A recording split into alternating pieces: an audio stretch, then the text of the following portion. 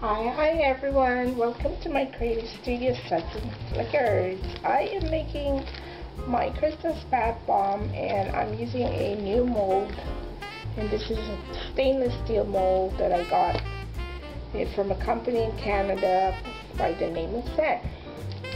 And I will be coloring today with gold mica from Zen and my red lake from Zen. Ooh. I have to allow my